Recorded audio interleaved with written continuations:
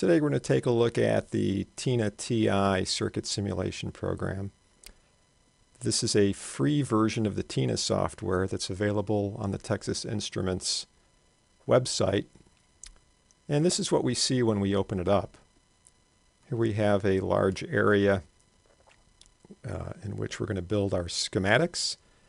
And uh, across the top here we have the typical range of menus, file menu, for uh, opening and saving projects.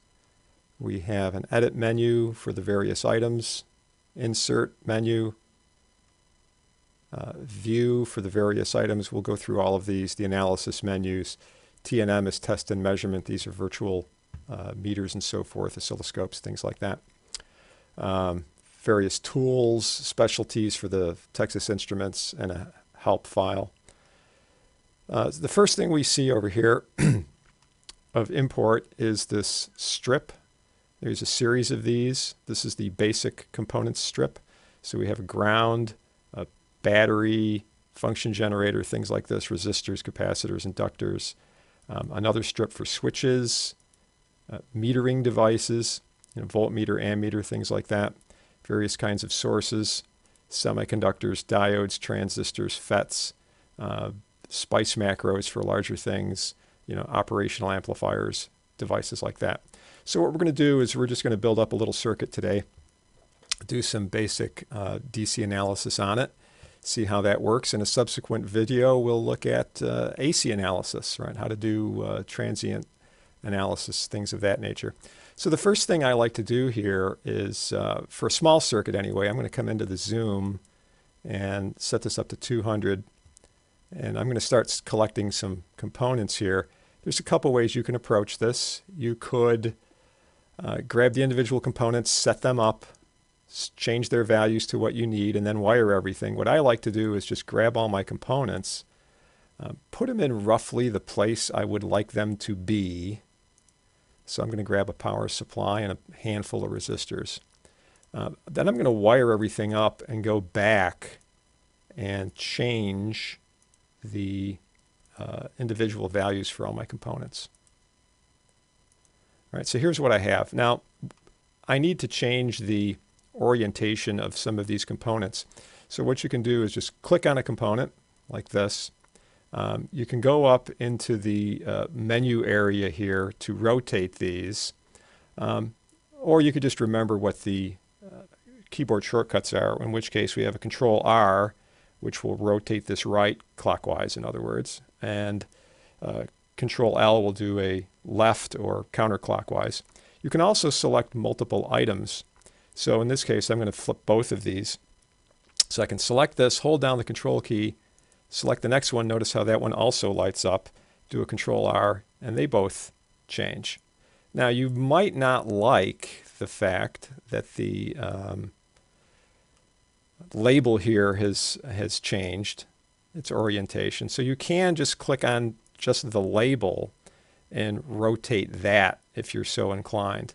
Okay, so I click on the whole thing. Um, I can just click on the label. All right. Um, now what I'm going to do is essentially make a little series parallel connection over here. So I'm going to take uh, these resistors. If I double click on it, I get a little property page here. I can start changing things. So I'm going to turn this into a 2.2 k ohm resistor. Click OK. I'm going to turn this one into a 3.9 k resistor.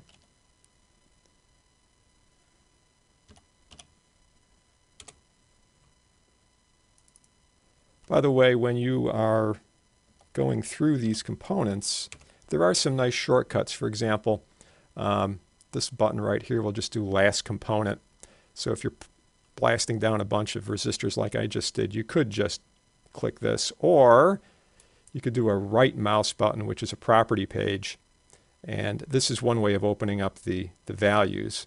Uh, but you can also do the rotate left, rotate right, mirror image the thing. Um, you can even edit the symbol if you want. But uh, you can get last component, which will just give you another one of those things. In any case, I'm just going to double click over here, change this one to a 5.6K.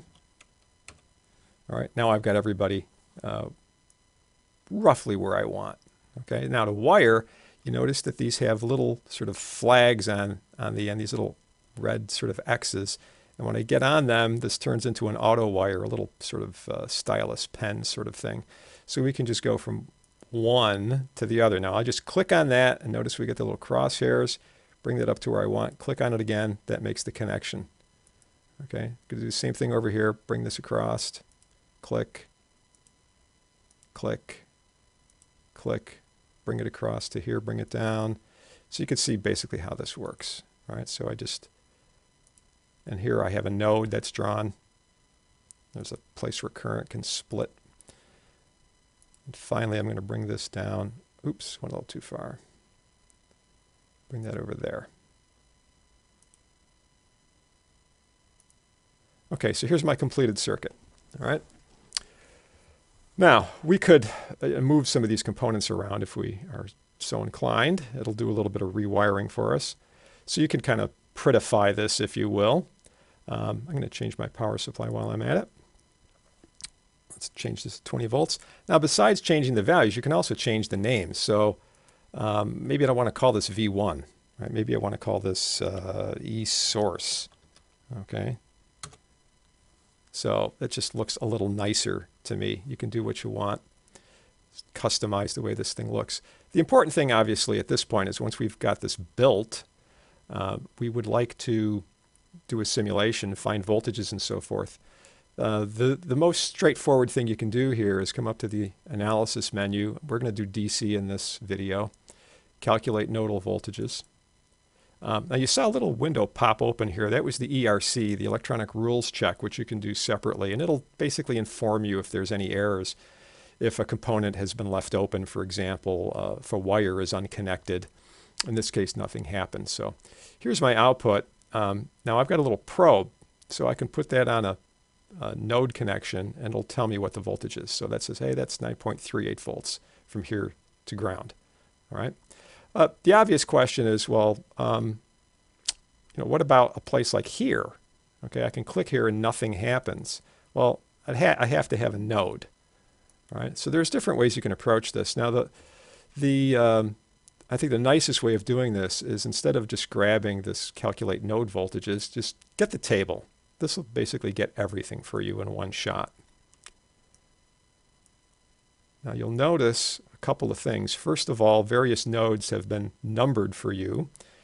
Ground typically is zero, and then we have these other connections, node 2, 3, 1, 4, and so forth. So I have this big list. This basically gives me everything. We can uh, reduce the number of things I uh, want, but in this case, I would like to see them all. So you know, what the heck, we'll check them all.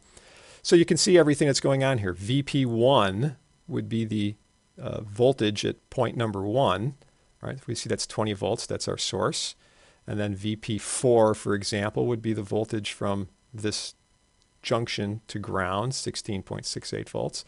Uh, we also have currents going through various components. So the current going through resistor 1, in other words, connected from uh, node number 1 to node number 4, we can see that's 3.22 milliamps. Um, we can see voltages across individual components. For example, here's VR2, which is connected from node 4 to node 2. So VR2 we can see is 7.3 volts. Right? You got everything that works out uh, very nice. Now there are certain things that you don't see. For example, what if I wanted to find the voltage from this point to this point? Right? That doesn't show up. I mean, we can do it easily enough knowing what this voltage is, knowing what this voltage is, we could do a little calculation, but it might be nice to just have it tell us immediately, right? Um, there's a couple ways we can approach this. One nice way, uh, one thing I like to do here, is to um, come over to the meters select tab, and we have these little uh, voltage pins. We can stick these on as measurement points. So I'm just going to stick that on there, right? And grab another one, stick that over here. Now, I'm going to go a little crazy here and just stick them all over the place. Every, every place I might be interested, I'm going to put one of those little connectors. We can rotate those, uh, by the way, if we want to. But I'm going to give them different names. So um, I don't want to call that VF3. You know, I, I very often like to give a letter name to a nodes or a connection point. So I'll just call that point A. I'll call this one point B. Call this one point, oop, hit the wire. Point C. And lastly, oops, accidentally hit that guy. Call this one point D. And when things get tight, sometimes, um, you know, things, um, you accidentally hit something. So, you know, you, you can move things around, right? So, like I said, I can take these things and move them around a little bit. Um, you know, rotate it. I just did a control R on that, right? Just maybe I don't like that sort of orientation. That's entirely up to you, right? Those are just fully um, subjective kinds of things, aesthetics. But in any case, I have my uh, uh, connection points labeled A, B, C, D. So now it's easy for me to think in terms of a voltage from B to B to D or B to A or you know whatever the heck it is. I can just say it's V, B, D. All right. Um, now, if I go back and do the uh, analysis here, my DC analysis, what we're going to see very nicely, here's my nodes A, B, C, D. Those are the voltages at those nodes with respect to ground. Okay. And by the way, if you click on one of these things, you'll see how this turns red, right? So I just clicked on R3 so we can see the voltage of R3. We can see the current through R3. Very convenient. Okay. All right. Um, this still doesn't get me VBD, for example. Easy enough to do a calculation, but if you really want to sort of drill down into it, we can grab a voltmeter, stick a voltmeter out here, and just connect the voltmeter to the appropriate points.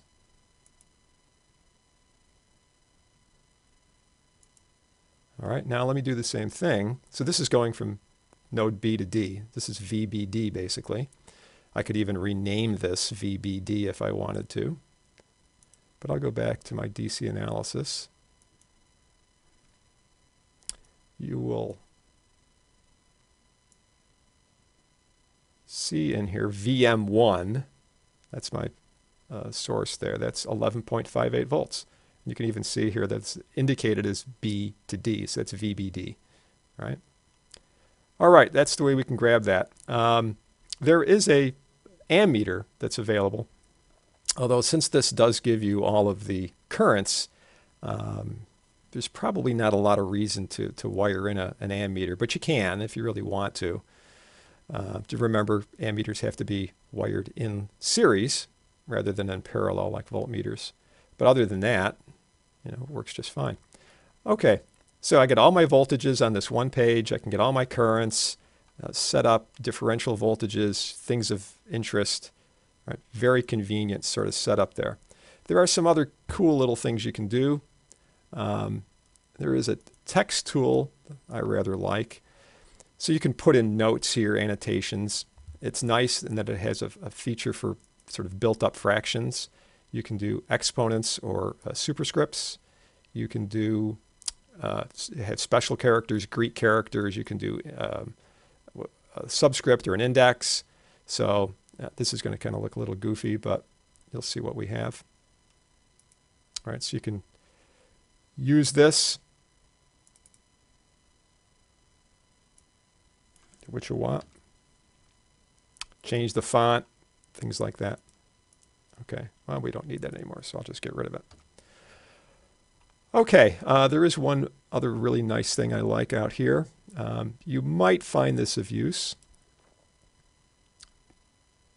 Go into the options. You can change this. This by default here is set up for ANSI uh, USA style components. You might want to use European style, right? DIN style. So these are the symbols that we would use in that case. And another cool thing here go back to USA, you can enable 3D shapes. And you can see what's happened, right? So our battery turns into literally a battery. We have a picture for a, a desktop uh, multimeter. And the resistors here are all uh, appropriate color codes. Okay, now all of these defaulted to 5 percent. So this resistor, this resistor, they all have gold uh, final bands here. But you could come in and change this. You know, you can change the, um, the tolerance on these things. You have various parameters that you can come in here and sort of monkey with. So we could say, oh, this is a 10% tolerance, right? Whenever you see this little ellipsis, you can click on that and get further information. So notice what happened. This resistor turned into a silver band because we selected 10% on it. Um, so you could do it like this if you wanted to. It's a little clunky if you have a large circuit, but you know if you're just starting out and you're just starting to do some uh, you know breadboarding and so forth, this is kind of a nice visual to sort of reinforce uh, learning the color code, things like that. But we'll just go back and uh, disable that. You can also set up some other things, uh, color schemes, for example, whether you want the, the units in uh, traditional um, you know, inches versus uh, metric millimeters, things like that. All right. So that pretty much gives us uh, an outlay, uh, an overview of, of how we're going to do our DC analysis here. All right, so we have our strip of components, grab what you need, and lay them out, double click to change the values. Then you can, if desired, also change the names, the labels. You can add measurement points, these uh, little voltage points. Uh, you can use meters to get differential voltages. And of course, don't forget the, the sort of the biggie here is a table of DC results, which will give you all the currents and voltages coursing through and across the circuit. Right? Very convenient sort of one-stop shopping on that particular thing. All right. Um, last thing, if we were to look at uh, semiconductors, because you know, these are just straight passives, if we were to look at, uh, let's say, a transistor, I'll just throw a generic transistor out here. You could uh, double click on this and you notice this is an NPN transistor. There's the little ellipsis. I can click on that and we have a huge array of various parts that we can grab. So for example, if you were looking at a little amplifier and you wanted a, a 2N3904, you could click on that. Here's all the parameters for that particular part number. Right, click OK, and uh, we'll now do a simulation with that specific part. Okay. So we could do that for uh, all these different semiconductors and, and so forth. And finally, uh, we can pull out a bill of materials. So this is all the components we have in the circuit. Tell us everything that we need. All right, so here's all of our resistors listed. There's the transistor, for example, our 3904. Um, all of these various parts. All right, so that's very convenient if you're going to uh, build something. But there you have it, right? So uh, Tina TI available on the TI website for free. Certainly a worthy program.